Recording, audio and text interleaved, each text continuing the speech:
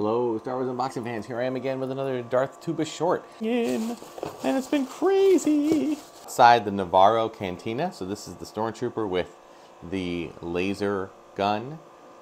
I love the box. I love everything about this.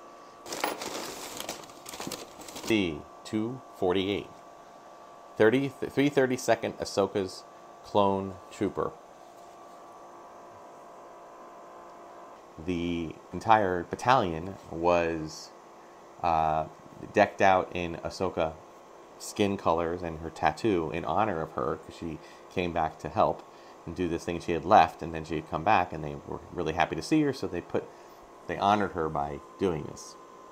Which made the next episode or next few episodes even more gut-wrenching when all of a sudden Order 66 kicked in and all their all their inhibitor chips kicked in. Thanks so much for watching. We'll see you at the next episode. Thanks guys.